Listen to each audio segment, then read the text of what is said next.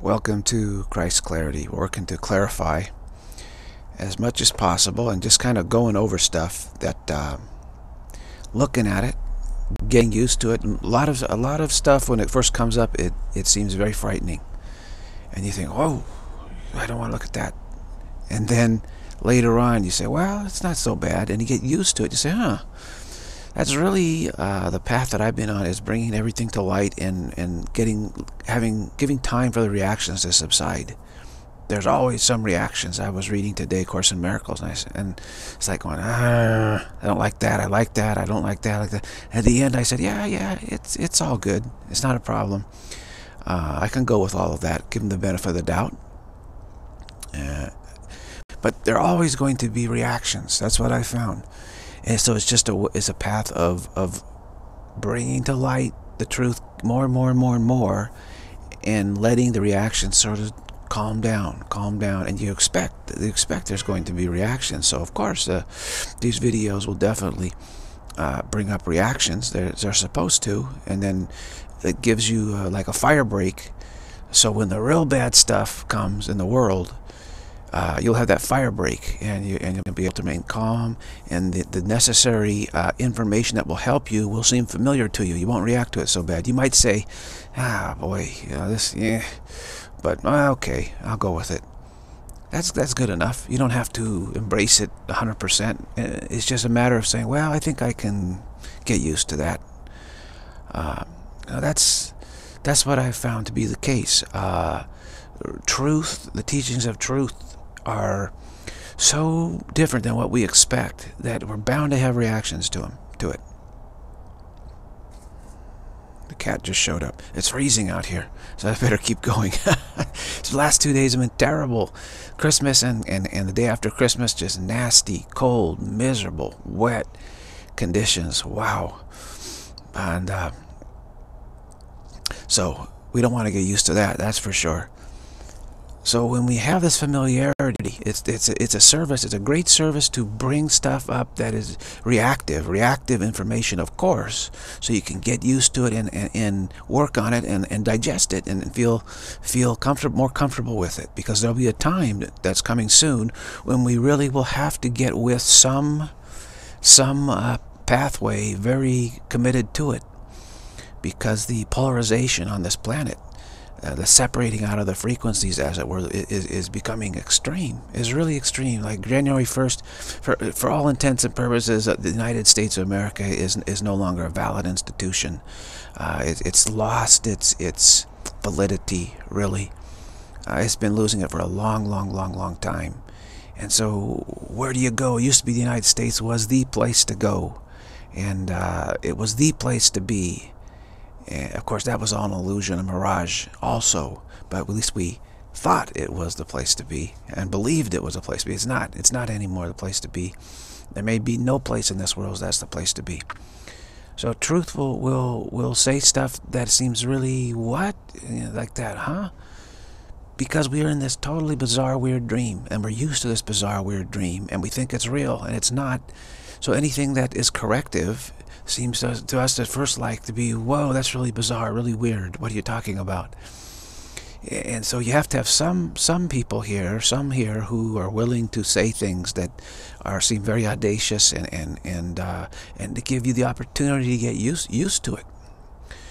Otherwise, uh, when you hear hear what truth has to tell you to help you out, you're going to recoil from it and saying, I've never heard that before. And wow, and, and, right now in the middle of all this crisis, you expect me to go with that? You must be nuts. And, and uh, of course, that's why A Course in Miracles came out in 1974, giving us a long lead up time to these times. Essentially, we've had it for what? Uh, 40 years now, I guess? Pretty much so. If you count 74 as one year, 84, 94, 104, and then 2013, it would be actually the 40th year and that's a nice lead up time 40 years to get used to used to these very different uh, way of uh, communicating and thinking about communication thinking about reality thinking about relationship thinking about everything. Very very different way. And uh, that will uh, be very helpful in the times to come which will certainly be the wild wild west on steroids to say the least. Uh, just as the teachings in the Bible, 2,000 years plus uh, of lead-up time. Love your enemy, agree with your adversary, resist not evil, all this kind of stuff. And we said, what are you talking about? You know, Barabbas was saying, come on, we got to destroy the Romans. and Jesus says, no, no, no, no, no, no, come on. If you try to do that, they're going to absolutely crush Judea and scatter you to the four winds. And of course, that's what happened. Uh, so there is this situation where uh, we need to get used to a different type of teaching, a different outlook, a different perspective ahead of time. Ahead of time. Not it's too late. Once once the crisis is on us, then we have to act. Then we have to decide, make decisions at that point. We can't sit there and say, okay, let me begin my path now. I'm going to be start considering all this, because the, there's there's a certain time where you gotta you know flee the tsunami, as it were, and you can't be uh, sitting there saying, no, I'm not going to budge because I, I, I just want to start thinking about all this. No, it doesn't work that way. So what we're do, what we've been doing here is trying to push as fast as possible, as much information as possible, so you can at least consider it. Whether you, you agree or disagree, that's fine. I mean, there's lots of stuff in the Course in Miracles I disagree with. and just like, ah, what are you talking about? But I give it the benefit of the doubt because it's it's a contextual thing and it's very difficult to lay out a universal curriculum using concepts and words, etc., etc. It's just not possible. And so there's some rough edges that each some person will feel like there's kind of a rough edge there. And, but you know, talking about relationships and stuff, we have a connotation with re relationships. At least I do.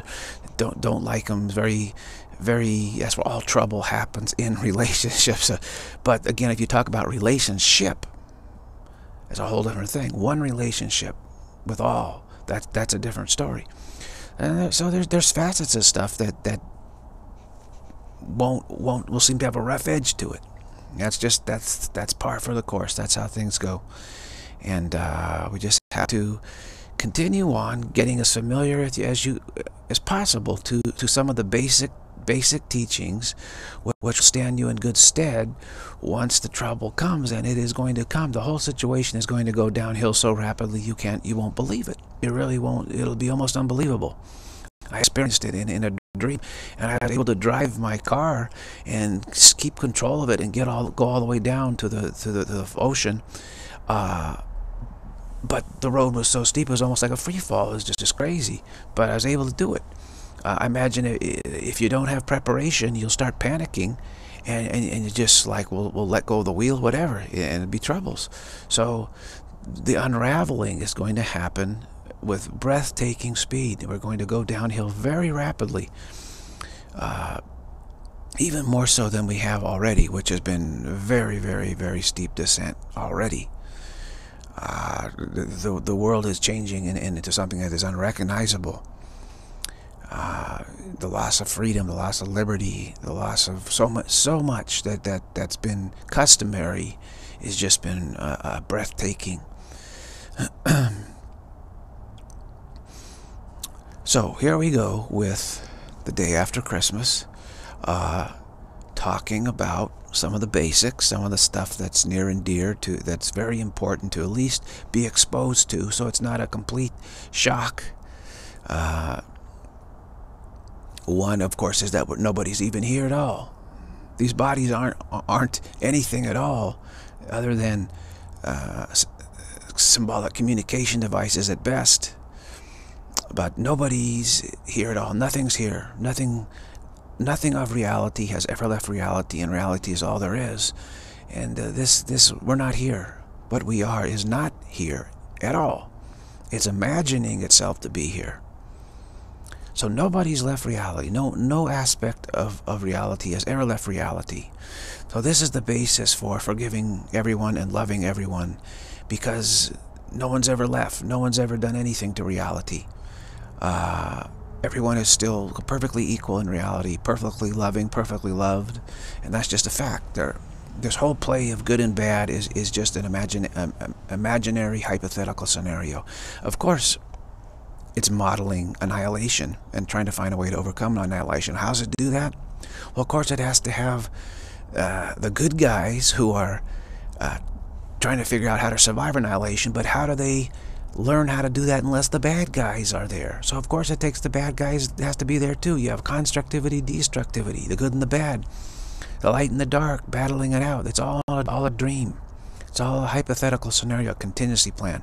So of course the good guys are trying to find ways to defeat the bad guys, and the guys are like a video game and advancing on you, and you're you know trying to get rid of them, and they keep advancing, and then you get you get past the first wave. Here comes another wave. It's even worse. It, the whole universe existence is like a video game. It's like a virtual reality. That's why they call it the Matrix, as it were. And uh, here, and so the good guys are desperately trying to succeed, but they're they're the whole thing is completely delusional, completely delusional, completely unnecessary. There's nothing that the good guys will ever, ever come up with that has anything to do with surviving annihilation. It's a complete waste of time. And if you want to get rid of the bad, give up the whole the scenario. Realize it's not necessary. Then you don't need you don't need the good guys. You don't need the bad guys. And you'll you'll find out what are you? The perfect. Perfection itself. Flawless flawless perfection, seamless, seamless bliss itself. Not having any need to, any necessity to overcome annihilation, because annihilation will never happen in, in reality. It's completely impossible. So I like to to think that I work for Jesus because I had an experience that indicated that I do. Uh, basically giving out his basic teachings here to help people get familiar with them in advance uh, of the times to come. I do expect Jesus to return, absolutely. And uh, how it will go at that time, I don't know. I don't have information about that. But certainly it's something to do with the harvest time, as it were, for those who are wise enough to heed his advice and, and, and, and realize that they can exchange hypothetical scenarios and they literally completely deserve to dwell in the problem-free, death-free paradise realms where there's no threat to survival whatsoever. No good guys, no bad guys, just grateful, gratefulness, gratitude, and bliss, and uh, uh, perfect contemplation and communion with, because nothing is being threatened there. It's a, it's a whole different story. Uh, there, there are those who are will be ready for that, and myself included, and uh, will sidestep the situation in the world. Is how I see it now. It could be could be could something different. I don't have ironclad uh, clarity on exactly what is going to happen or when, etc.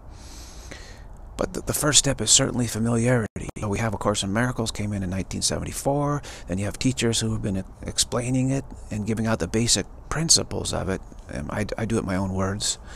Uh, and that helps another level of familiarity. And then uh, you have, uh, at some point, the, the return of Jesus. Um, not, some things think it's it's to, to beat all, destroy all the bad guys. No, it's not. that would be a fake Jesus who does that. An imposter Jesus would do that. I'm sure there's probably some imposter Jesus that's ready to come on the scene too. But uh, no, the, the real Jesus will say, hey, I, I have a place prepared for you, and uh, here's, let's go. Something like that. Uh, now, if, if somebody is going crazy, like uh, berserk, in a, in a crowd and they have a machete and, and they can see they flipped out and they're looking looking around. What do you do? Well, if, you, if you're compassionate, you get out of the way. You don't jump in front of the guy and, and say, hey, stop it. And whoosh, gonna swing at you with the machete. So the thing to do is say, whoa, this, this, this, this someone has flipped out, got a machete, it's very dangerous, let's get to safety where he cannot be touched by it.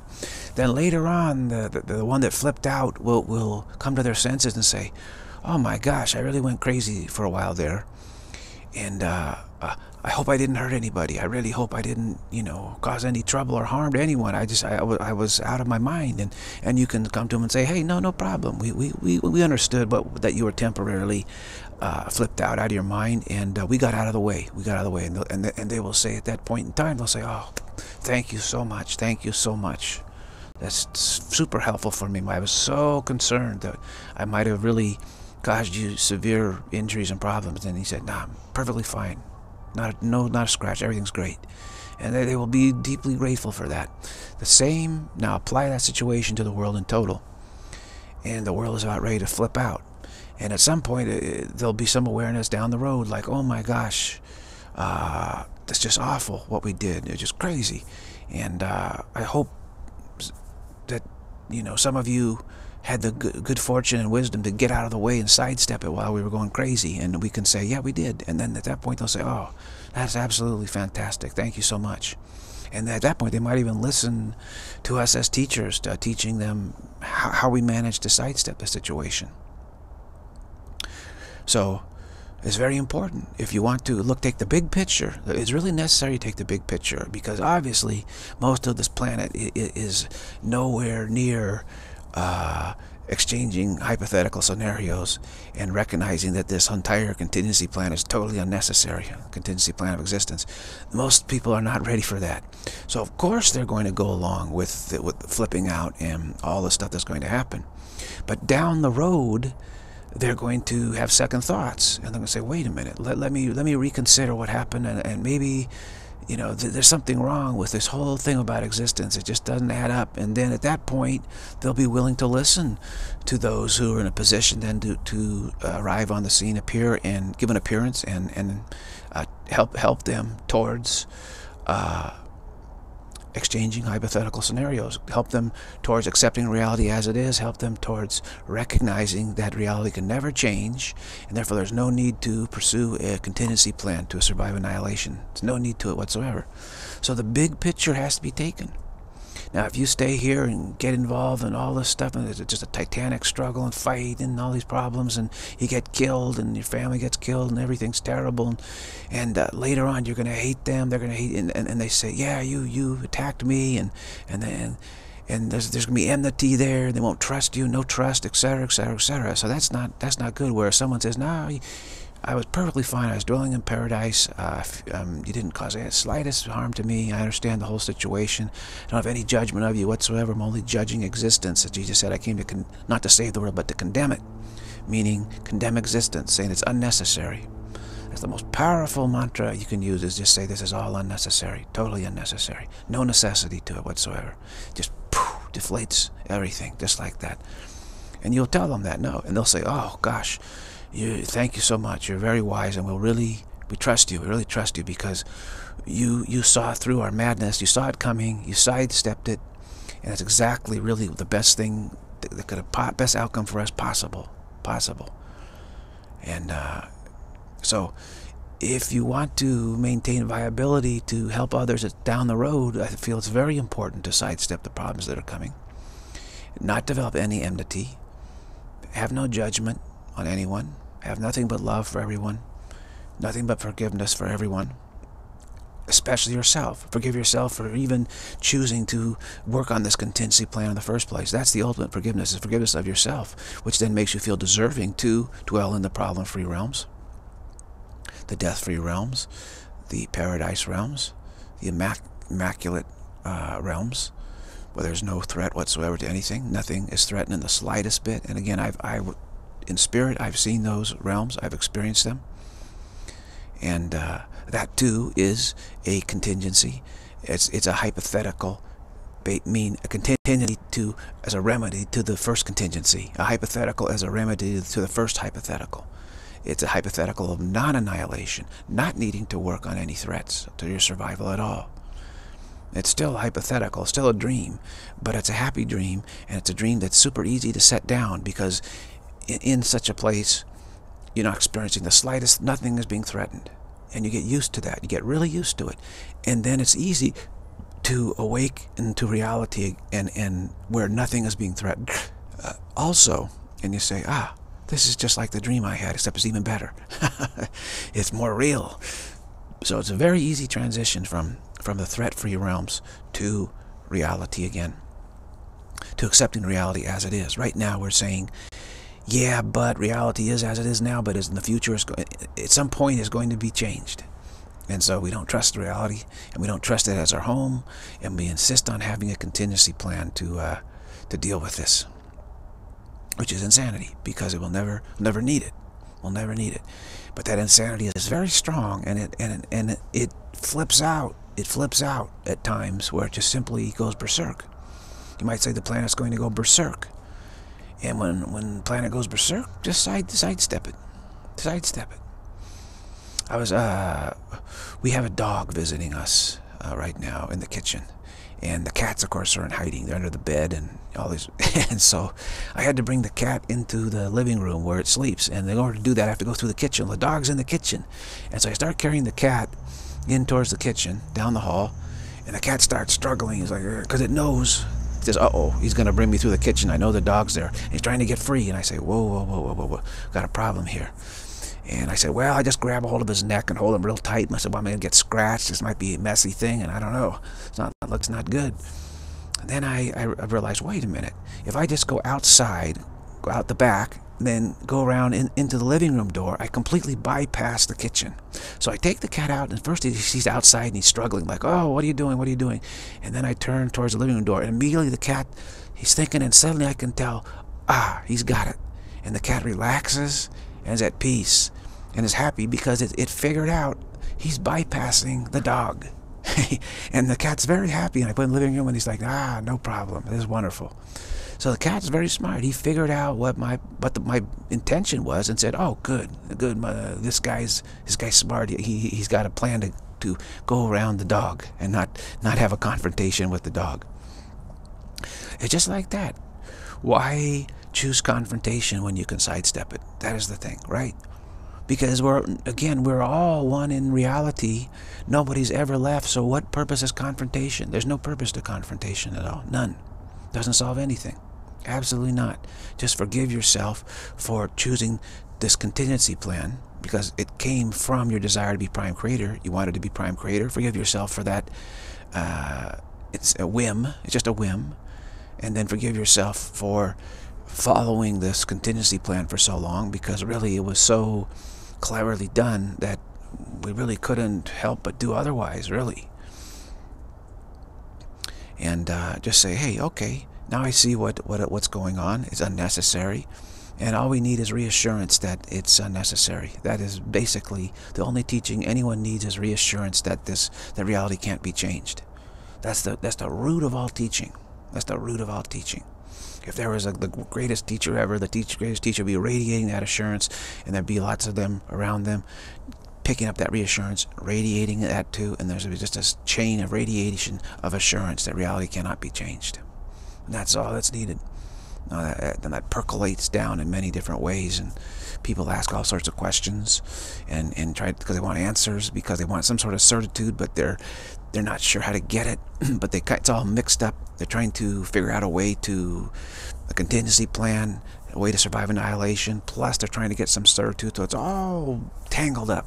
It's all tangled up in people's minds. The mind. Very tangled up. Very ambivalent.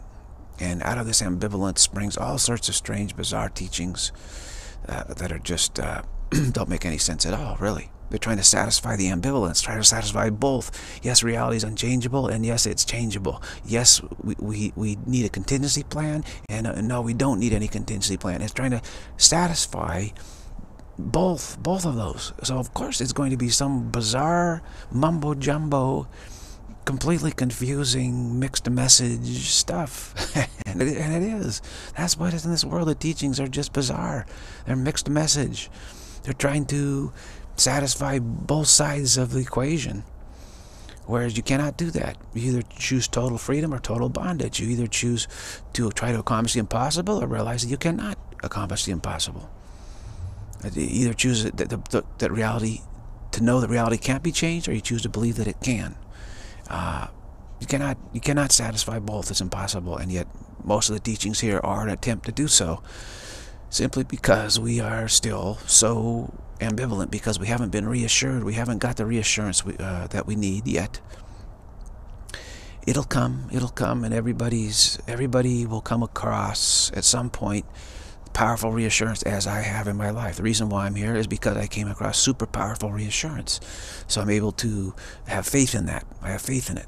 I don't know for a fact myself, but I know that those who reassured me know for a fact. I'm, I'm certain of that. But just I don't have that level of certitude.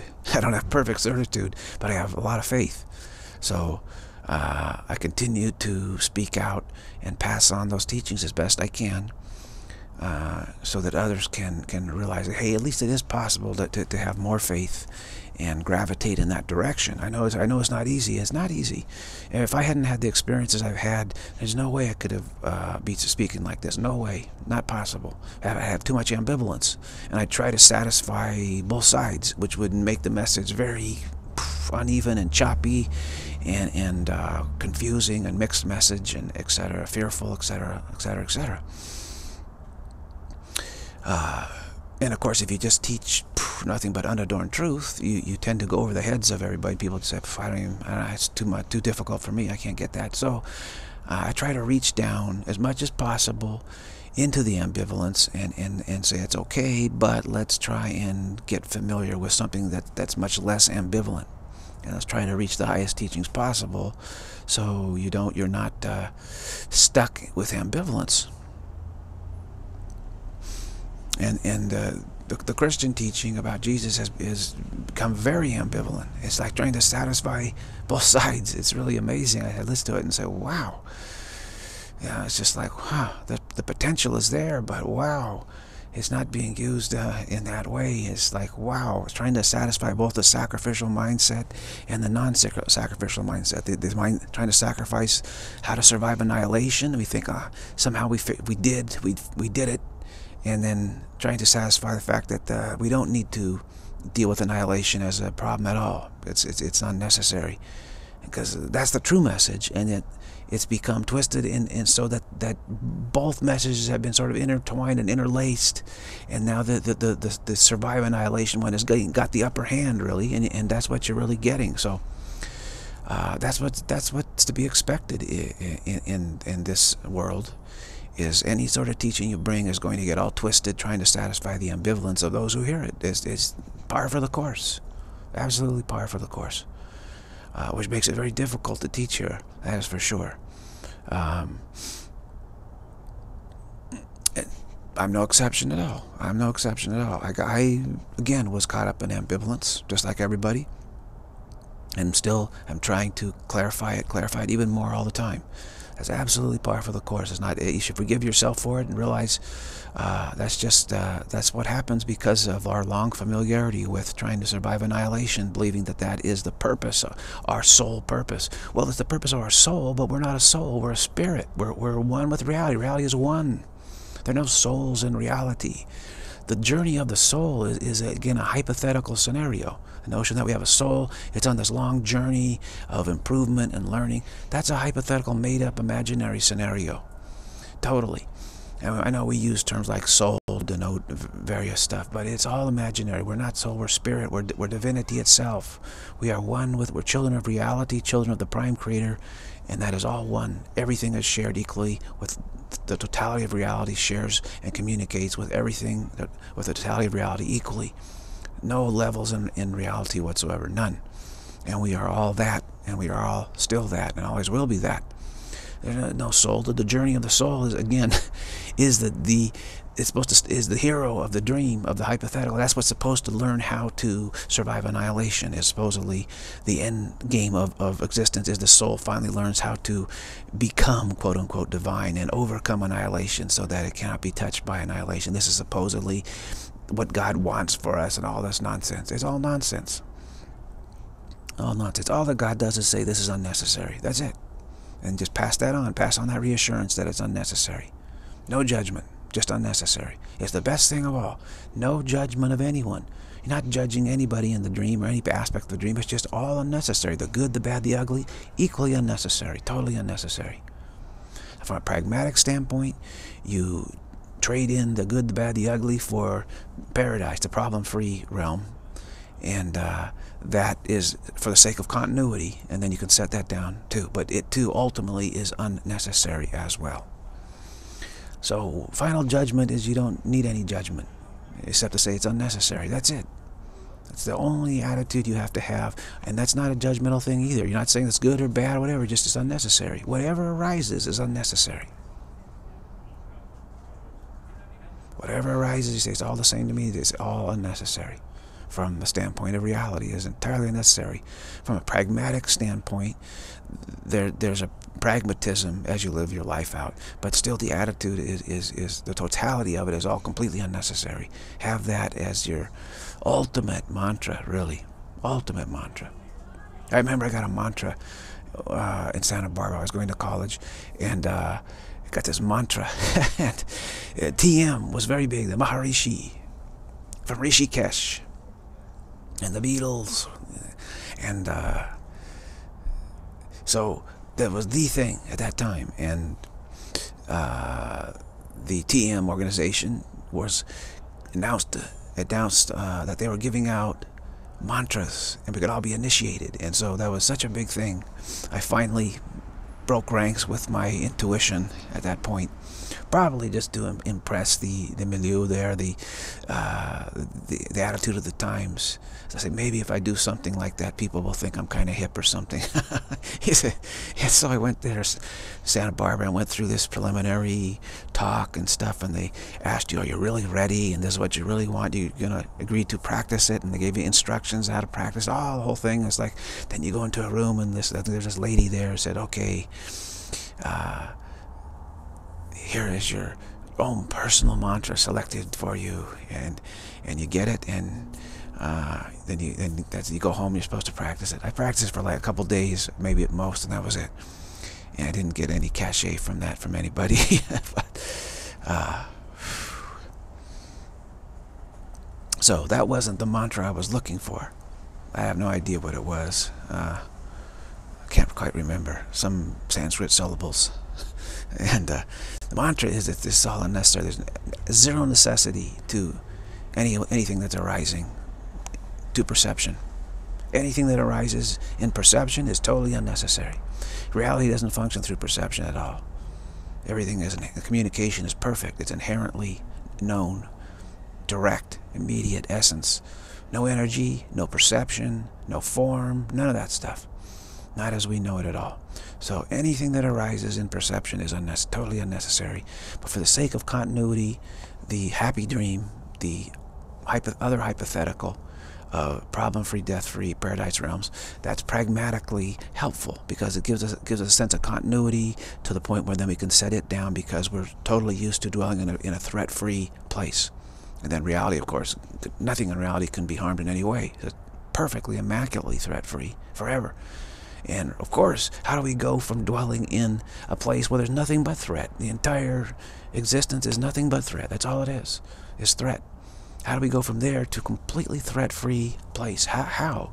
I took a look at that, making the jump. I, I looked at the jump that needed to be made, and I, and I was scared. I, I said, whoa, it, it's too different. It's too different.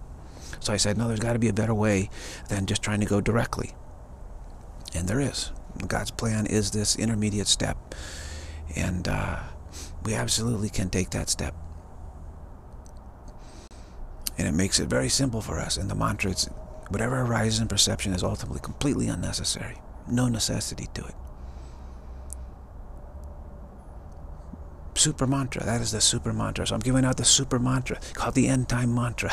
it, there's no necessity to anything that. Anything that arises to perception, there's, there's zero necessity to it. None. Absolutely none. Not from anywhere. No necessity. It's all a hypothetical scenario. What, what is perceived is hypothetical. Always. Always, always, always. It's the imagination of mind producing a hypothetical, presenting hypothetical scenario to us so that we can work on this problem of annihilation we think is necessary. Because if you change reality, reality would be annihilated. Again, reality is one whole. There's no fragments, no pieces. Any change would obliterate all of reality. be total annihilation.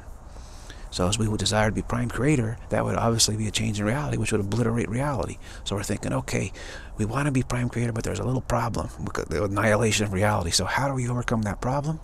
We're symbolizing annihilation uh, through our imagination and symbolically and then working on it in existence uh, through symbols, the, the, the, various forms that, that arise, everything that arises here that seems to be life, as we call it, and then subjected to vulnerability. Life is, by definition, here in existence, that which is vulnerable to death, right?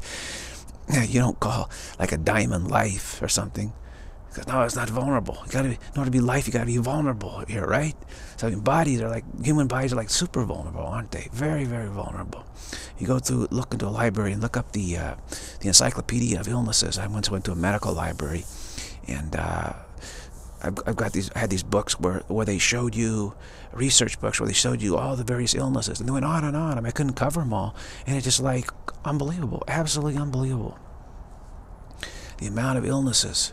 I actually, I found a book in, in a bookstore, uh, these amazing books I came across that detail all the illnesses and, and infirmities the body ha has had throughout history. It's just like, it, it just blew my mind completely. It, it's like virtually unlimited the various things that can go wrong with the body are just unlimited. And those are just uh, diseases and sicknesses, afflictions. All that doesn't have to do with all the attacks on the body and, and those kind of things that that humans afflict on humans, animals inflict with disasters, all those kinds of things. Now, the starvation, etc. So it's it's it's the body is just a, a, vulnerability device, super vulnerable, which is why we call it super life. We think the body, it, it, it, these bodies are like really the highest kind of life form. Why? Because they're the most vulnerable to the most kinds of illnesses. So we feel the learning lessons that our quote unquote soul is uh, going to learn is it, learning opportunities just like off the charts because we can learn how to overcome all those illnesses and vulnerabilities supposedly. So we we crave. You know, crave being born into a human human form to try and advance our soul, as it were. Whereas really, the point of being born into a human body, uh, the real opportunity is to contemplate reality and recognize this is all completely bogus, complete non-necessity to any of this. Because having this many afflictions and vulnerabilities, we don't like it. We say, whoa, this is just too much. This, this is nuts.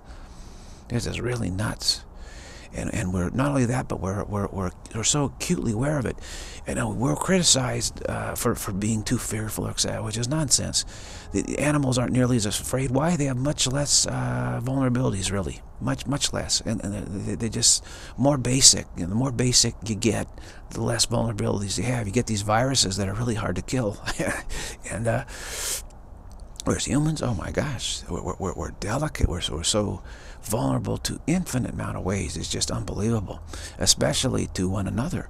Whereas like cats, you know, ah, they, they get along as best they can. It's not really, cats aren't going to correct, get some army together and march on some other cats and wipe them out or throw poison gas or develop atomic bomb or all this. No, humans, and humans have invented eh, endless ways to destroy one another. So, of course, being a human, you're going to be like cowering in terror. The more aware you are, the more you cower in terror because you're so, you realize, oh my gosh, my life is just hanging by a little, by a thread. That's true. It's absolutely true. That's a fact. And uh, so then you say, "Wow, this this is terrible. I, I, I want to. Is this is this the best there is? You know, basically that's the question I ask. Is this the is really this really the best there is? Come on.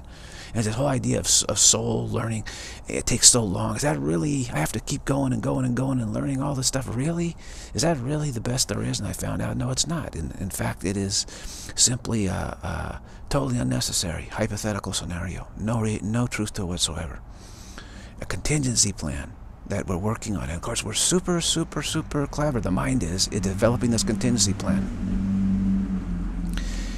And uh, people, some think they have to kill the mind. No, you don't. You can't kill the mind.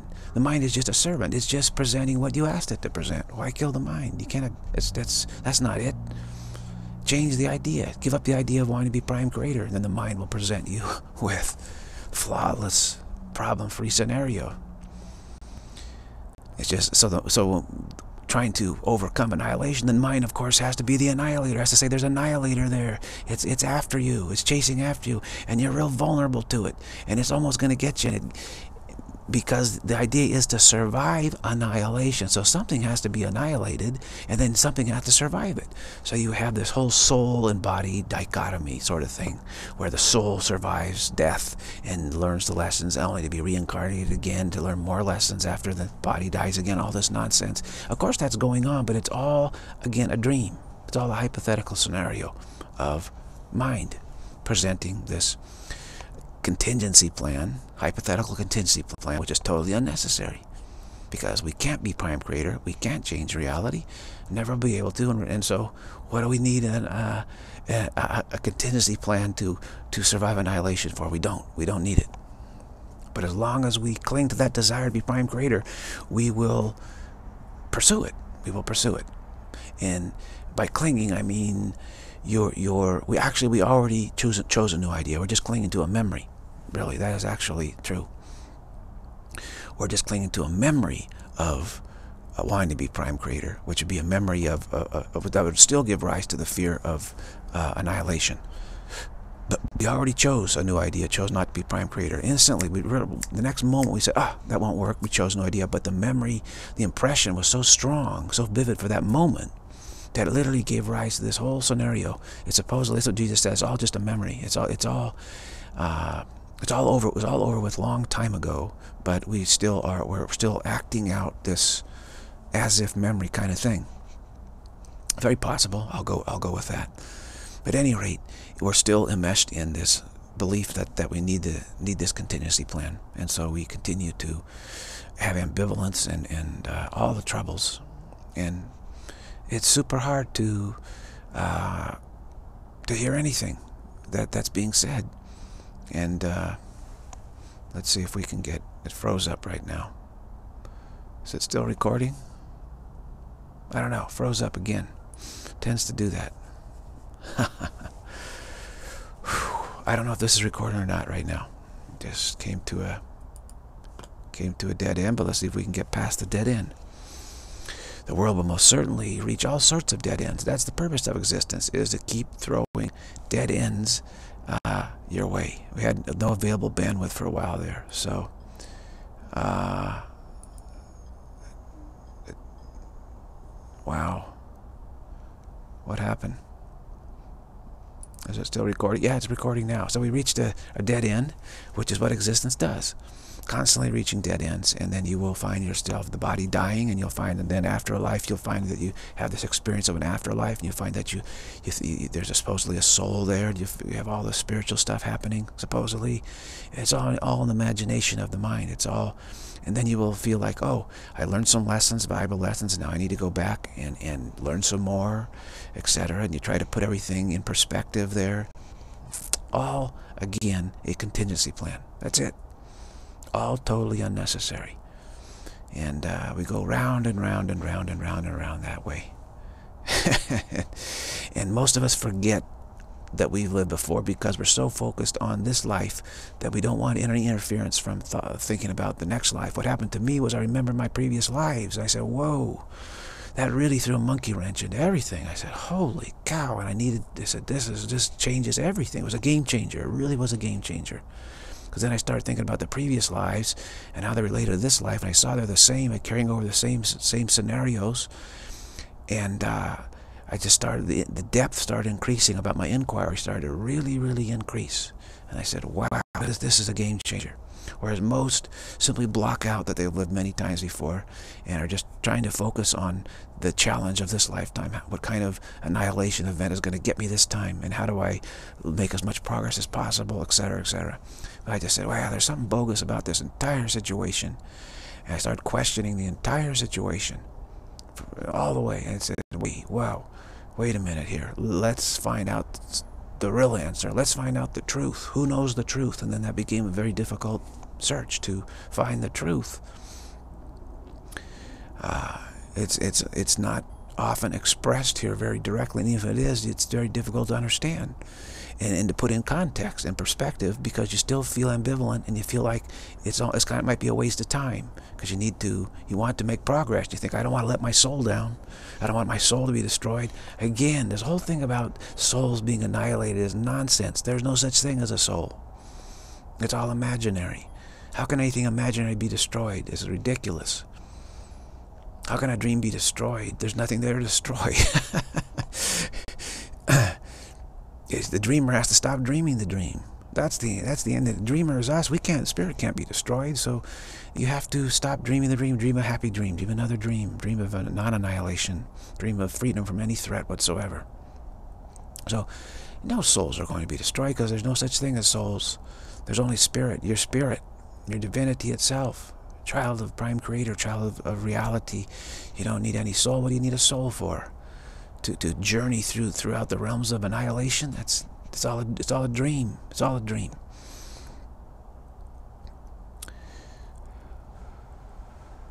So there's a lot of talk about, well, I don't want to let my soul down. I don't want to harm my soul. I don't want my soul to be destroyed. I want to, I want to, I don't, I, I want to learn my lessons so my soul can advance. All this stuff, it is so ridiculous.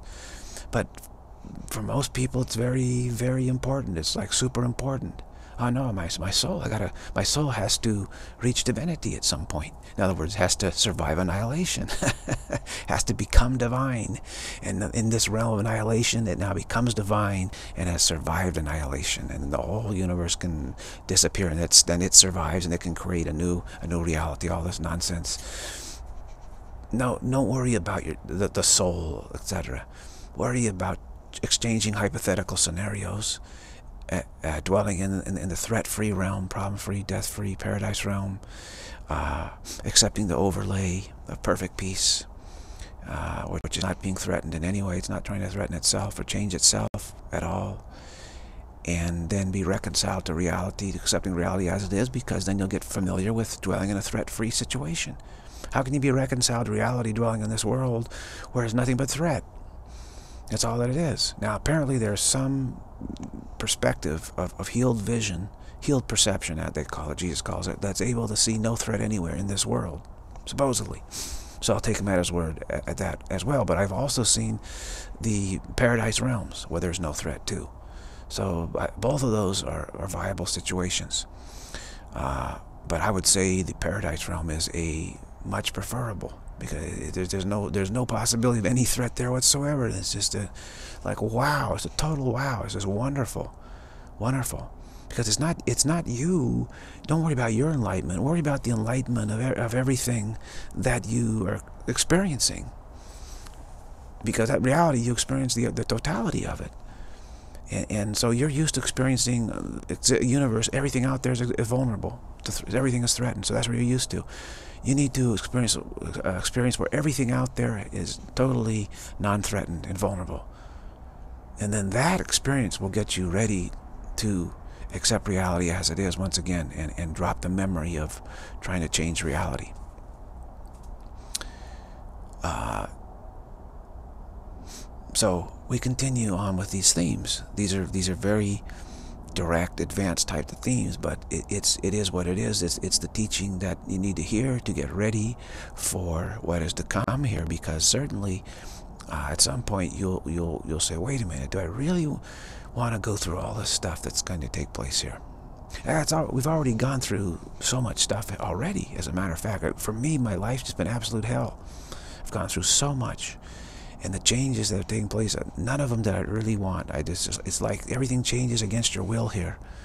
And, it's just uh, the decisions that have been made, one after the other, just non-stop stuff that I absolutely abhor, just absolutely abhor and say, this is just horrible. This path that that's, the world is taking is all wrong. It's going towards a big, big crisis, a big confrontation, a big totalitarianism, a big everything, a big problem, just super problematical it's going towards super problematical. I mean, just look at technology. We think it's made us so much safer. It has not. It's made us so much more vulnerable. The threat level has increased exponentially here. I got the, the there's this uh, on Skype. Uh, they, there's this Skype virus that keeps calling you and saying you, there's something wrong with your system and you need to uh, upgrade your system and they, they, all sorts of messages that, that try to trick you into clicking on a link to to upgrade your system, whatever. And uh, when, as soon as you do that, of course, a virus infects your computer. And I heard that it's a keylogger virus. So in other words, it logs all the keystrokes you take, which means, of course, that it logs all your passwords, online banking, uh, everything that you do online. It, it logs all that the keystrokes, and then it can sell all this information to criminals who can then rob your identity, rob your bank account, ruin your life. all because you just clicked on something that tricked you. Now, fortunately, I didn't click on it. And I found out if you put Skype on privacy settings, only allow contacts to call and message you, it, it prevents these, these, these phishing scams to, to call you on Skype. So I changed my privacy settings there. Uh, but just that's one example of how super vulnerable vulnerable we are. And then of course passwords at ATMs that criminals can easily guess those. There's a, there's a list of easy passwords, and they can go through those a, very quickly.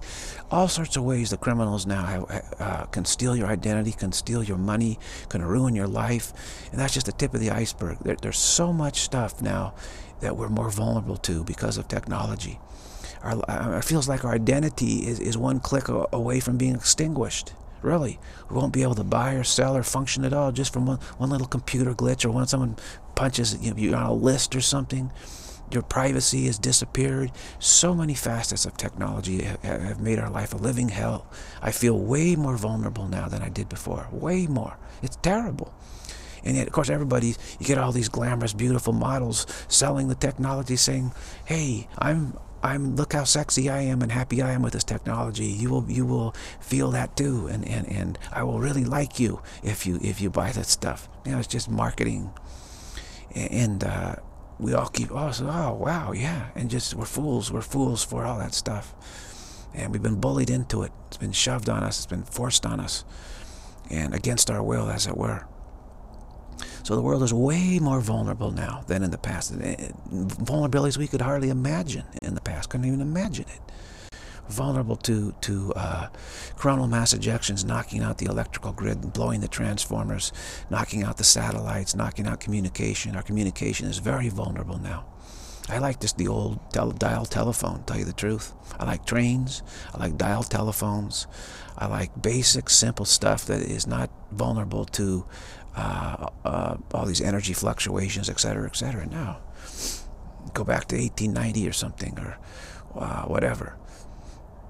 Pre all this uh, sophisticated technology, survivability was actually better, better then, at least uh, in lots of ways. Of course, we've had some advances in in, in certain illnesses, et cetera, et cetera. But as overall vulnerability, it is just nasty now. You're one click away from being infected, being keylogged, being being uh, having your bank account cleaned out. I've already had that situation. Someone stole my credit card information and went on some massive uh, shopping spree, spree in the Caribbean, going to all these pharmacies, buying all this medication on my on my credit card, and then of course they would black market sell it or something, made a huge profit, and uh, yeah, just out of the blue.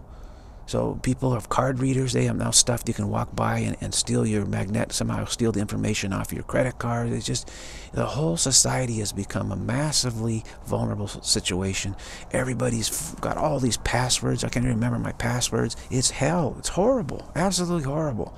And those people who keep you know, marketing this us to, us saying, oh, don't worry, it'll get better. We'll upgrade it. And all our stuff becomes obsolete anyway, right? Everything's continuously being obsolete, faster and faster, faster. Oh, you got to buy a new one because well, the we've changed everything, and now you have to upgrade, and it won't work with the old system. Blah blah blah blah blah. And uh, it's just you're on a, you're on this treadmill, this this this rat race uh, uh, of desperately trying to keep from being left behind by this technology, keep from being turned into a third world tech technology person where you're you're you're, you're just uh, you're not able to keep up with all the the antivirus stuff and all, you know on and on and on and on and on. It's hell. It's absolute hell. Uh, of course, it's marketed to us as, as this is like the solution. This is the remedy. So the the hell is being marketed marketed to us as the remedy for what? For supposedly for insecurity. it's exactly the opposite. It, it, it is the insecurity itself in, in much stronger doses being marketed as the, as the key. And of course, they have to, uh, all this pornography had to come along at the same time because the people in marketing were, were so nervous about it.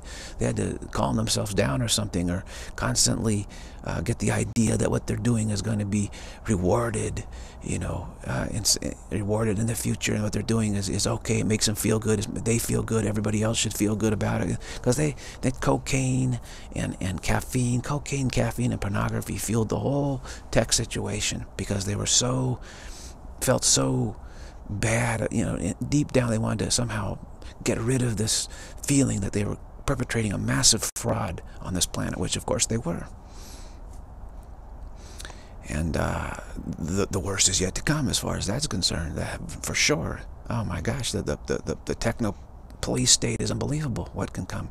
So you need to have the familiarity with the high concepts in hand as you go forward now, as we go forward, because again, the, the, the deterioration will be warp speed, quantum deterioration, or some call it quantum weirdness, yes, which isn't a good thing. Some, uh, we're told supposed to embrace weirdness. No, we're not.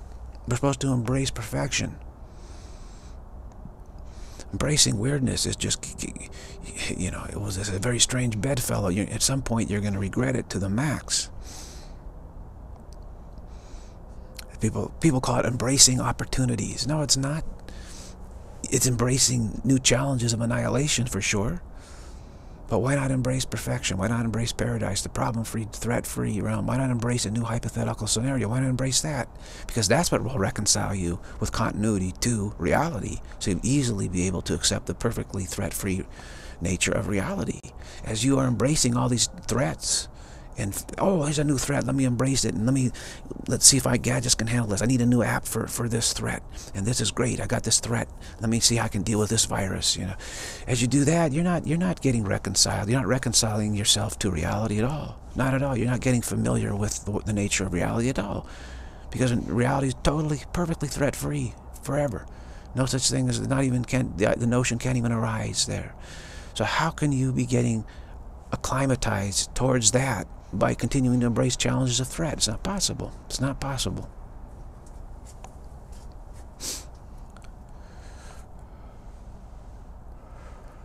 And it clearly doesn't work. And, yet, the ego, the, the, the, the, the, the notion that those of trying to find a way to survive annihilation, that desire, that intent, that contingency plan, see, it seems like this is exactly what we need, all these troubles, because we, we're growing, we're learning. Look at all we learned. Look at all the threats we've learned to, to overcome.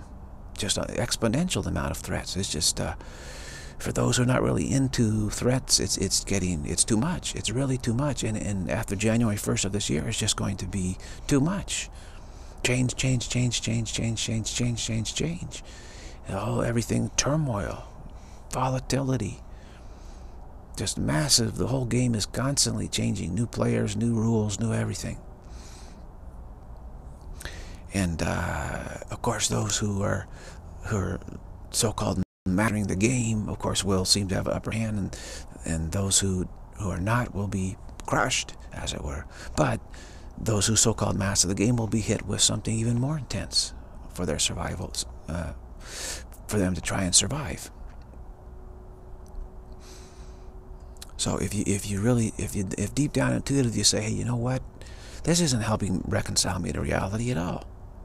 No, I need something way better, something fundamentally better, not just something incrementally better. We're not talking about that. We're not talking about getting increment. We're talking about something fundamentally from its very foundation, infinitely better, immeasurably, incomparably better, which would be the threat threat-free experience. Now, some say that when you realize that you're not a body, that the sense of threat vanishes. Well, that's that's possible. That's possible. Uh, that's one way to do it. The other is to actually dwell in the threat-free realm. Uh, but any hand, you have to have the sense that you're not being threatened in any way in order to gravitate towards uh, reconciliation with the nature of reality. You have to have that one way, one way or the other. And I'm just introducing this notion of a threat-free realm because I was taken there. I know I've seen it. I know I don't know anybody else that's talking about it, but I continue to because I absolutely experienced it. it clear as a bell. I was walking around examining the trees and the bushes and the flowers and the ground and everything very carefully. And then I started dawning on me. I said, oh, wait a minute. I don't see any evidence of, of, of harm anywhere. And everything seems to be ancient from the beginning of time. Everything seems to have been here forever. And there's no harm anywhere. And I just like started, it dawned on me what the nature of this place was. I just said, holy cow. And it kind of shook me up. It did shake me up. And I was, and my awareness of it then pff, was cut off because I was too, my fear arose too much. I was, it was confusion. I said, well, this isn't, this isn't any place I know in existence. This is something else. Where is this place? I said, where is this place? What's going on? I liked it. I said, it's terrific, but where is it? And so I just, uh, but there is, there is such a place. Death-free realms do exist. That's why Anandamayi Ma said, everybody eventually must dwell in the death, death-free realms. That's what she said, verbatim. Everyone must eventually dwell in the death-free realms. There's no way around it because that's how you become reconciled to, to reality. So there must be death-free realms. And, there, and if everyone must eventually dwell there, we must, there must be a way to dwell there too. Everybody says, well, yeah, your your soul forgets. If your soul gets advanced enough, then that must be what happens. No, that's not how it happens. It happens when you realize you don't even have a soul, and you can go right now. You don't need to drop your body. For why? Why does the body need to be attacked? But uh, that would be threatening the body. Let, let's give the body a threat and annihilate it, and then you can go to death-free realms. No. Why not bring the body there? The body's just an appearance anyway. So if you want to get, so why should, why, why isn't that also not threatened? The, the trees, the plants, the flowers, they're not being threatened. The body should not be being threatened either. There's no reason to drop your body to go to such a place. No reason whatsoever. This is a whole different way of looking at the situation. Entirely different way. I know that for most people, just not having heard this before, it's just like, what is this? It's, it's, it's completely different. It is. It's completely different way of looking. But here it is. I've been schooled. I've been schooled. I spent my time being schooled nonstop so that, that these this whole situation to me is very familiar, so I can talk about it. Otherwise, I, I couldn't talk about it. I'd get too intimidated by ambivalency within, within and without, externally, by the ambivalence of others, and then my own ambivalence would be so strong that I just, uh, I wouldn't be able to talk. Just my voice just got dry up like that. I couldn't talk anymore. Take that, which used to happen. I couldn't, couldn't talk. Literally couldn't talk about it. It's too difficult. so, this on? Yeah. I hope this is on. Sorry. Sometimes it's hard to tell if this is actually on. Yeah, that's it. All right, it's been working. Everything's great. So I just keep on talking on, giving you the flavor, get the flavor, I know he's saying, "Wow, I don't really, I don't know if it's true. I don't understand it. Yeah, maybe it's wrong. All this stuff, but at least you get the flavor of it. So, should there come a time when you say, "Whoa, whoa, this, this, I think that uh, I get this feeling," maybe you'll have an experience within, an internal experience where you, you can at any moment you can get a glimpse of something divine and, and, and perfect and flawless and you'll say, oh, that's what I really want. Okay, how do, how do I get that? And you say, ah, oh, this is familiar to me. Yeah, yeah, yeah. And then from that point, you, you'll, you'll have this inner conviction. So familiarity is super important, super important here. If you're not familiar, you, you're, you're up against it.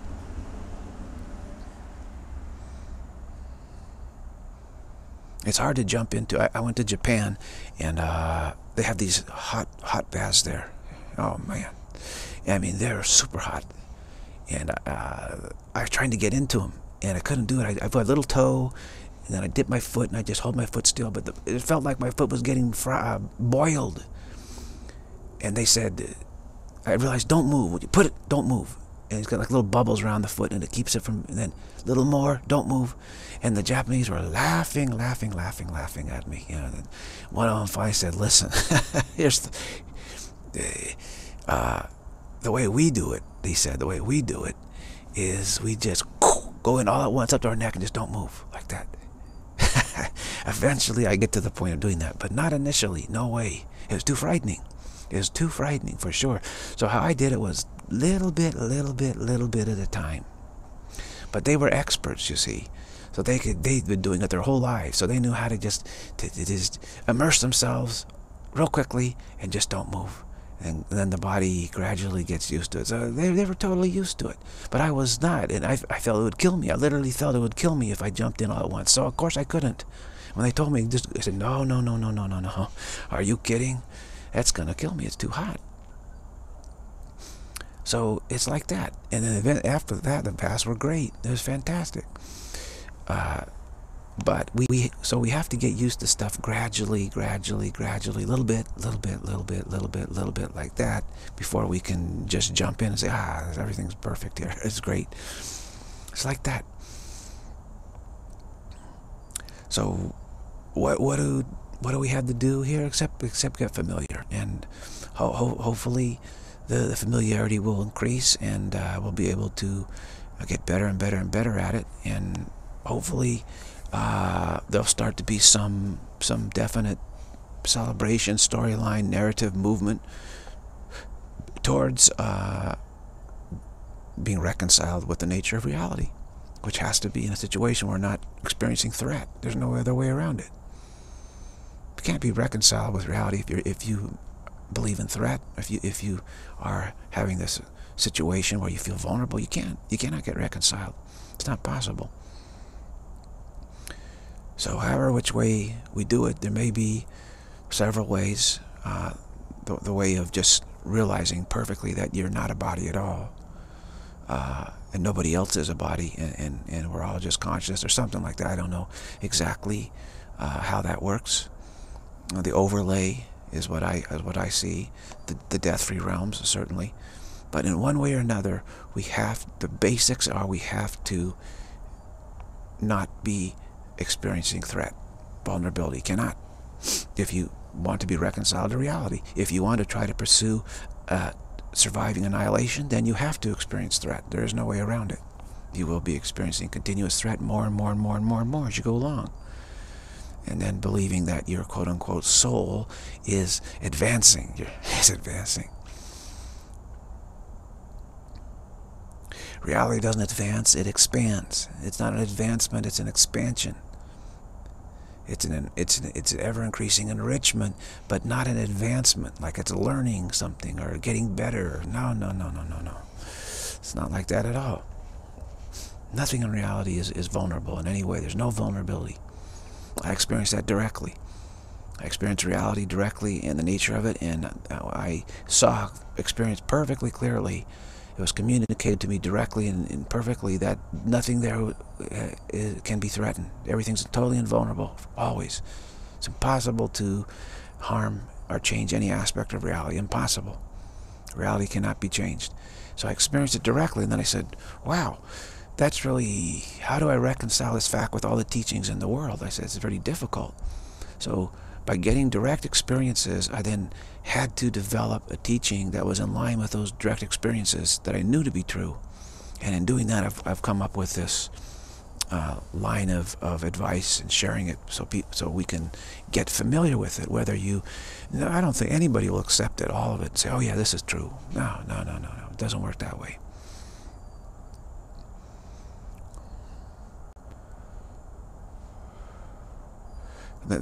Most will be, well, maybe, it might be so. I'm not sure. I'm not certain. I'm ambivalent. Or this sounds right, and maybe I should listen to this, get familiar with it. Yeah, that's that's good. Getting familiar is is super important. I read the Course in Miracles, Course in Miracles through, you know, bits, and I didn't go straight through. I jumped around all over the place, but eventually, over the years, I'd read everything, and then I read it, everything over again and again and again and again. I must have read it many, many times. Uh, Some, some parts I might have read 50 times, I don't know, so many times. Over and over and over and over and over. Over 15 years, I just read it and read it and read it and read it. Why? Familiarity. The first time I read it, I couldn't understand what it was saying. I, I understood the words, but not what they were saying. And then maybe a little bits and pieces here and there, and then I read it again. Each time I read it, I understood it better. Each time. And again, it wasn't just linearly through. I jumped around. I just random, I'd open a section, open another section, open another section. I did the workbook straight through because they said, it said do it from 1 to 365. At this point, I just jump around there if I need to. Uh, but I covered it all for sure over and over and over again and again got familiar with it. First time, ah, I didn't know what, what it was saying. I said, wow, this is a real challenge. This is a true challenge. This is the challenge I want. Not this other stuff in the world. No, this is, I don't want to bring peace to the world. I want to be saved from the world. And this, this will do it. But it, it's not easy. So again, I read it sometimes I, I didn't like it, didn't understand it, resisted it, objected to it. Said, this is, this isn't, I don't know, something wrong with this. I don't know about that. And got upset, yeah, all that kind of stuff. You, you, you, it just seems like, wow, this is too, I can't get this. What is this? I don't understand it. What are you talking about? And liking some of it more than others. That's definitely, some of us, I said, this is great, this is perfect. Other stuff I'd say, whoa, what is, what is this? Of course, you can't give a universal curriculum. There, there's different ways of looking at it. And, and, and, the way that Jesus looks at it is, is the way that he uh, uh, feels is, is what he wants to give out to those who are uh, akin to that way, which is something about relationships and healed re healing relationships and, and having the miracle within relationship, etc. That kind of thing. Now, not all teachings are that are that way, but the basics, the, all the basics for me were there. And uh, I don't tend to have a healing relationship way myself. I don't. Uh, I don't see things that way, but I, I give them the benefit of the doubt that there's something something there to it. I don't really see how it works. Uh, never experienced it working or anything like that, but there's there's a lot who seem to gravitate towards that. So I, I just say, well, okay, I'll give them the benefit of the doubt. Maybe some point uh, I'll use it. I don't know. But the, the, the bottom line is he laid out the, enti the entire context was clear the overall context. He, he made it all very clear about what's going on, the basics. So I'm just relaying the basics as I see them, the real basics. Now within those basics, people will have maybe different emphasis, emphasis, uh, which is fine. But the basics are all important. We have to be, we have to, to normalize ourselves back to reality, which is threat-free. And how do we do that when we're, we're constantly threatened? Can't, cannot. So some way we have to experience not being threatened in any way. Now, how you do it in this world is, is quite a, uh, not easy to explain, is it? I mean, it's a, somewhat of a torturous explanation. But uh, benefit of the doubt, I'd say it's possible because that some have done it. Some have done it but I, I, don't think it's absolutely necessary. How you do it is not important. I mean, the, the, the, the, only thing that's important is that you do it. So if there's death-free realms and that's like easy as pie, do it that way. I don't care. Why take the tough way? Those who are taking the difficult way are, again, ambivalent because they're still carrying that over wanting to overcome annihilation contingency plan. In other words, they want it tough. They want it difficult. For me, I want to take the safe way, the safe and easy way. The easy way. But for those who want to take the difficult way, I'm, I'm sure that's that's also possible. I just want to take the easy way because the, the results are the same. The, the, goal is to get acclimatized to threat-free situation. That's the goal. How you do it isn't important. The, the importance is that you do it. And if there's an easy way to do it, that's way better. Saves time. Saves time, saves suffering, all of that. And that's what's important. So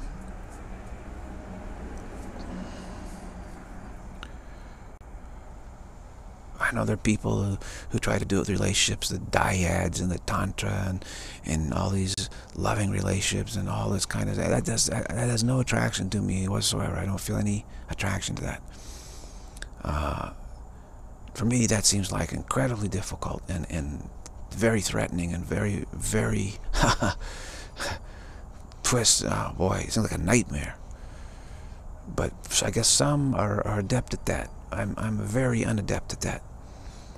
So for me, I just, ah, death-free realms, paradise realms, let's go. I'm, I'm, adept at that, actually very adept at that.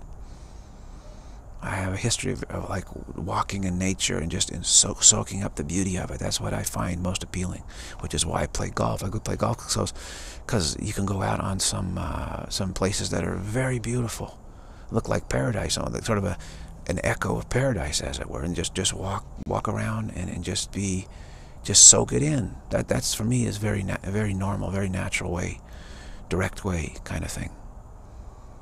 If I see a really very healthy, beautiful plant there, just I can just sit there, and just feel at one with it and feel the the flawlessness of that sense of, of, of communion with with with threat-free, problem-free, death-free that feeling, communion, so to speak. I get that very easily. Now, relations with people, I, I don't get that at all. I don't get that at all. So it's it's somewhat of a mystery how people, how, how some manage to get that through human relationships. I don't I don't get that in the slightest bit at all. But many like that. Many like to go on nature walks uh, and just take that all in. And uh, I'm more aligned to that. But I don't like going like in the mountains where it's very dangerous. I don't like that at all. No way. I like on a golf course where it's very safe, except for errant shots. but if you go on ones that are private and, and, and layout is winding around, you don't have parallel golf holes, so there's not so much danger. If you go to municipal courses, all these tight parallel golf courses. I went to the, the Presidio in San Francisco golf course, and I almost got killed there. It was horrible. It was super tight and the parallel holes were, were so close together. I, I think we had like four four times when the balls came in almost hit us. It was just crazy, just crazy. You had like the, the, the, the tee box of the next hole right close behind the green of the, the the preceding hole. So people hitting their approach shots, if they flew the green, the ball would go right in the tee box and hit you. It was absolutely nuts. I said, I'm never playing here again. You're going out on the golf course to feel safety, to feel free of threat. You see the water, you see the grass, everything seems immaculate, pristine, like it's never been harmed or threatened because, of course, they use pesticides to keep everything looking good.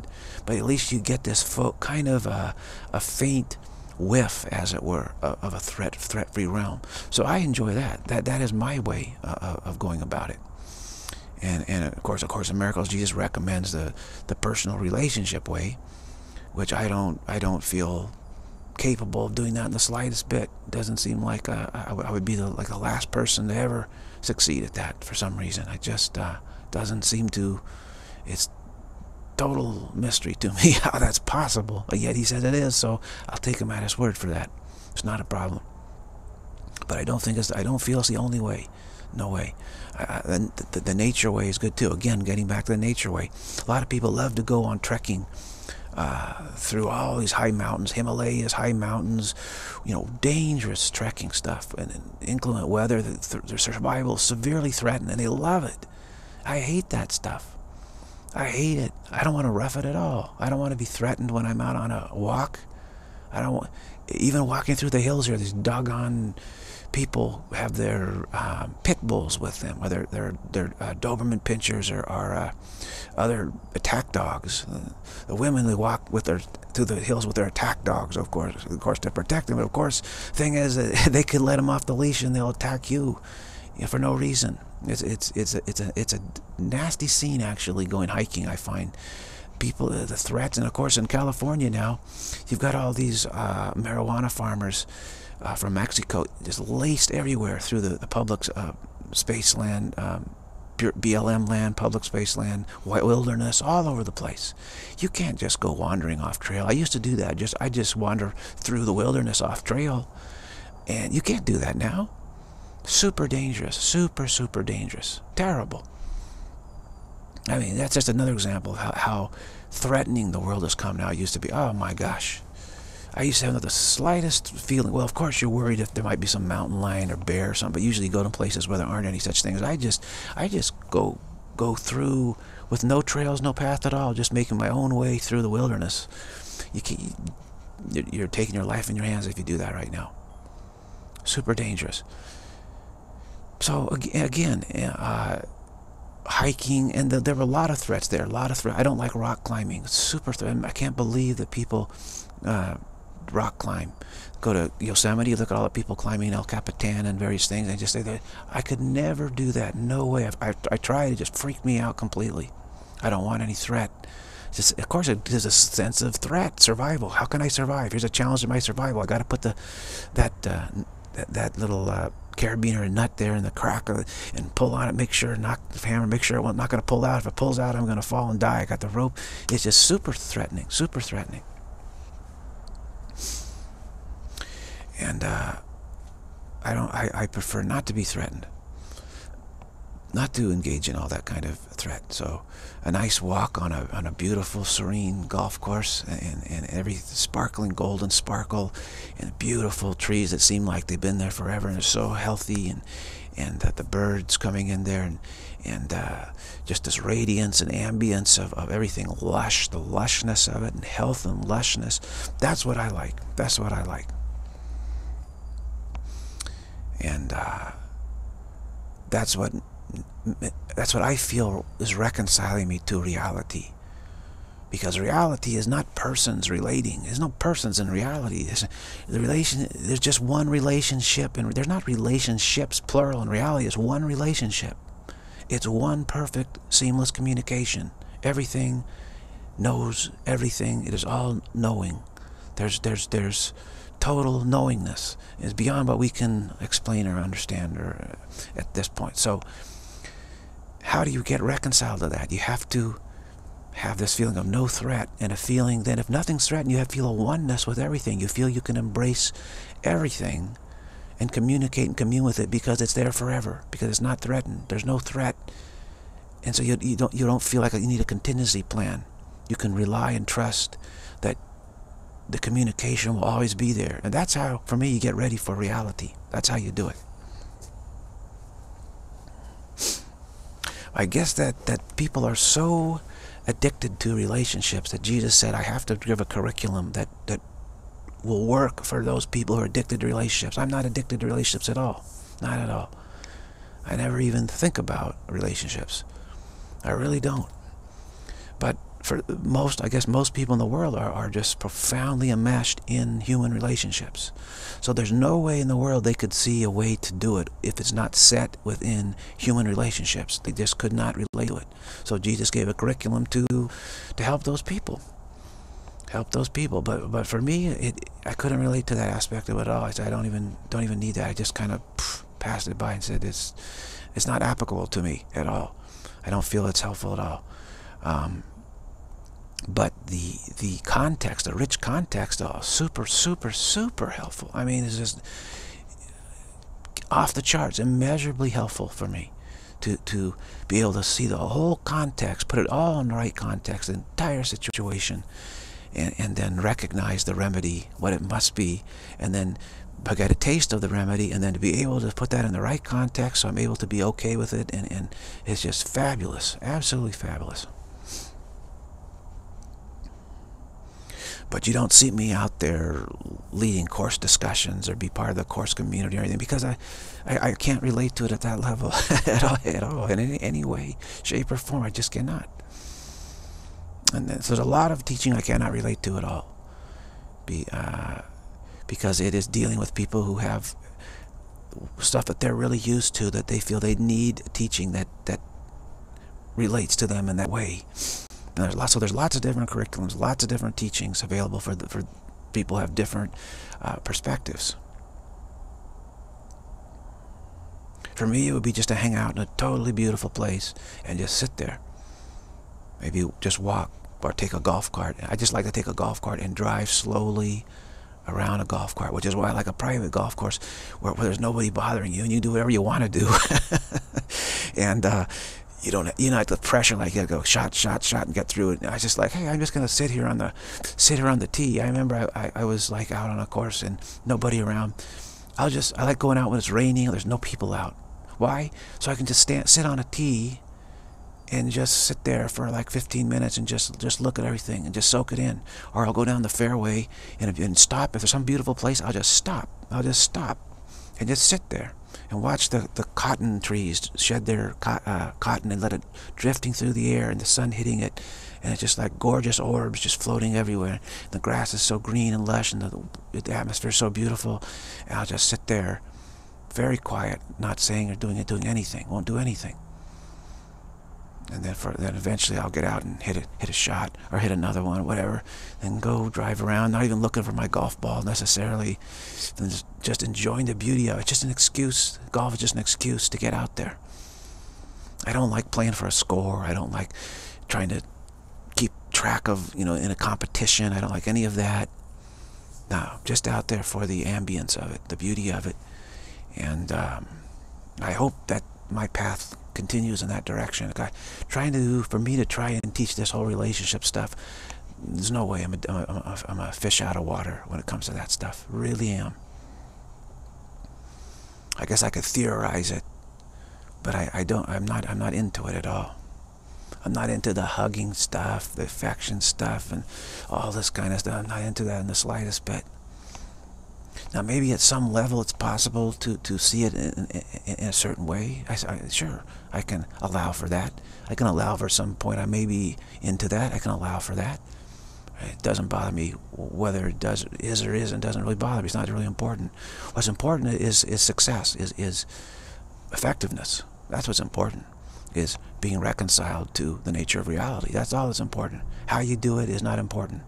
That that you do it is important. That you don't feel threat, any threats. You don't feel vulnerable. You don't feel you're being threatened. You feel you're you're communicating. You're in communion. You feel you're able to communicate in communion with everything, with everything in your, and that everything is that that communion will be unbroken. That is what's important. What I wanted to do is I wanted to buy a private golf course. That was really my my goal in life, was to uh, buy a super beautiful golf course uh, private golf course and then invite people there who have like who have the same path as I do of, of simply abiding in very beautiful surroundings and just feeling that as, as a way to get prepared for the paradise realms. And just invite people there. Be an ashram. It would really be an ashram. Be like a big clubhouse. That would be the ashram center. And then people would come from all over the world and, and they'd play golf but just as an excuse to meander the grounds as it were use golf carts to to to drive around. Just drive through it. Just drive through it. Just stop your golf cart. Just stop it whenever you want to. Just do it that way. And also be ways to tournaments where you just follow along. Uh, certain certain people, key people, would might play a tournament, and you'd follow along. Just walk. Excuse to stroll the grounds. Just stop under some tree and just look out onto this vista and the and the beautiful backdrop and the mountains and everything. Everything's just like perfect, almost perfect and just feel that. That was my goal uh, in, in, life. I did. I didn't reach that goal, at least certainly not yet. Um, and I felt that would be like a just a greatest thing for people uh, to come and to just feel so much peace and abidance in this tranquil, super tranquil, beautiful setting, and get a sense of communion. And it wouldn't be all some lovey-dovey relationship sort of thing, no. But everybody would understand why everybody else is there and they just you know smile and peace to you, peace to you, that kind of thing. And uh, I tried. I certainly tried. I tried to move to such a place. I tried to. Nothing worked out for me. It's amazing. Pretty, pretty bizarre. Cannot uh, understand that. Still don't understand it. Maybe it'll still happen. I don't know. Maybe there's some enlightened magnate uh, uh, somewhere who has a private golf course. If so, inv invite me to your private golf course and we'll set up an ashram and we'll set it all up and we'll invite people from all over the world to come there. Absolutely. I'm totally prepared for that and game for that. I understand the, the, the usage of it in that way. And be by invitation only, of course. Of course. You cannot have ambivalence at play in such a situation. Everybody has to understand the purpose of what it's used for. And of course, the wildlife there would be super tame and super beautiful. And you'd have, ah, just be wonderful, just wonderful. I worked on that so hard for so long, dedicated to that, and uh, has not yet happened. So again, if you own a private golf course, let me know. Okay, let me know.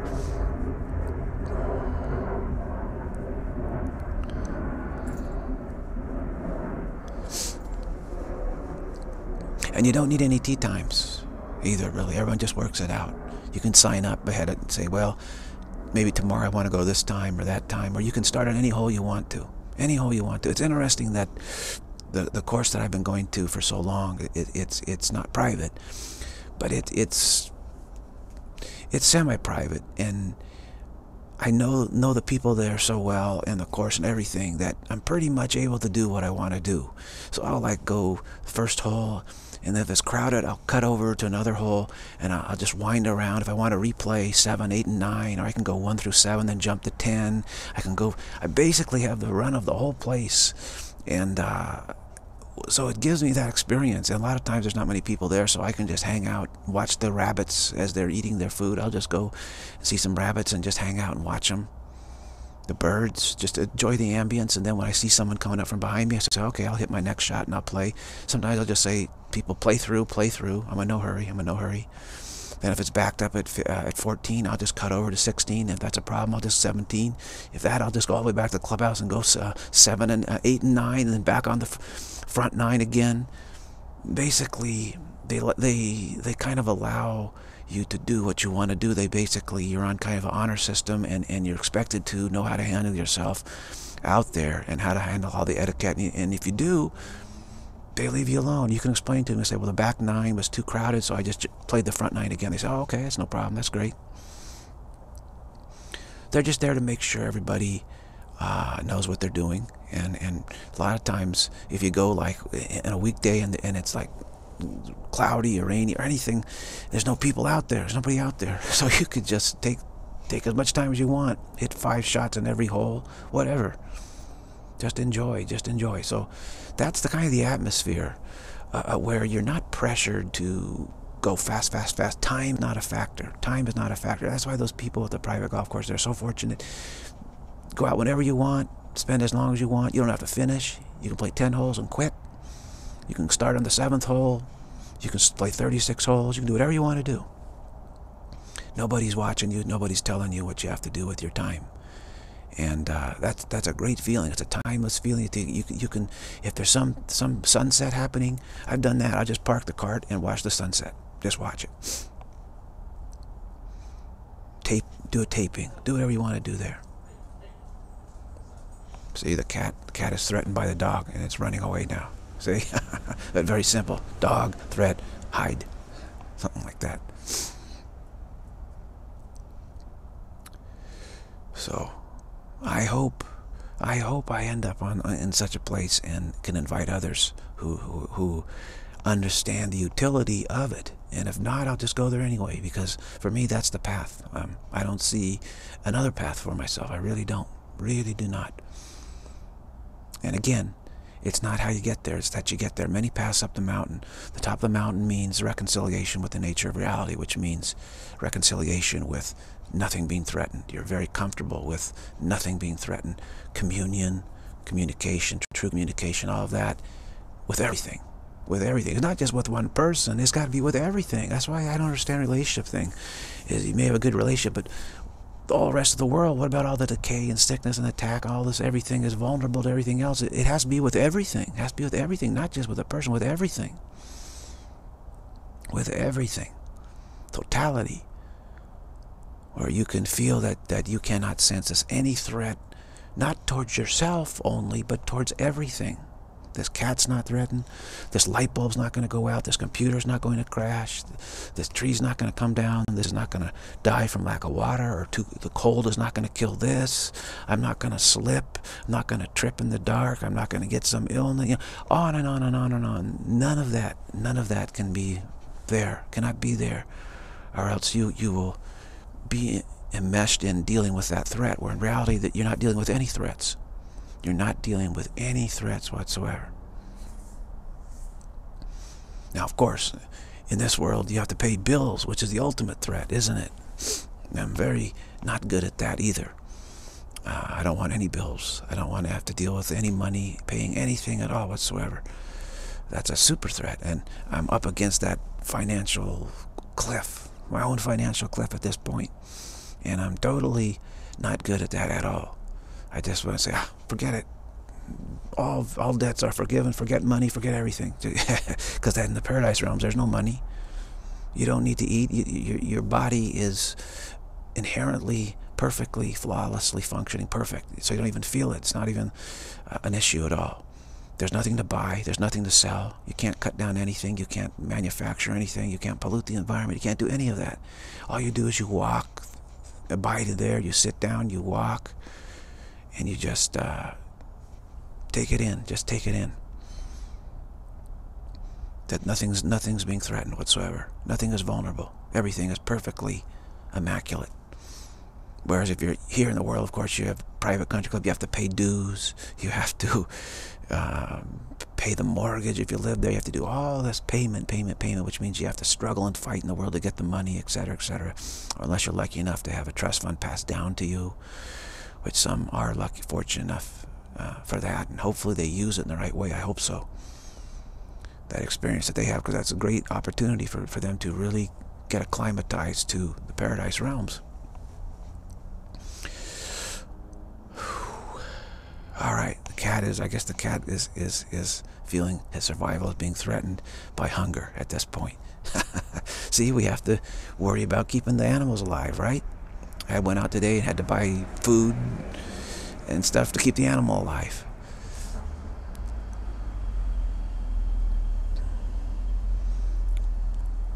So it's all here a struggle for survival, struggle to somehow overcome the constant troubles. And the troubles are always shifting. The, shifting sands here, shifting sands, isn't it? Really, it is.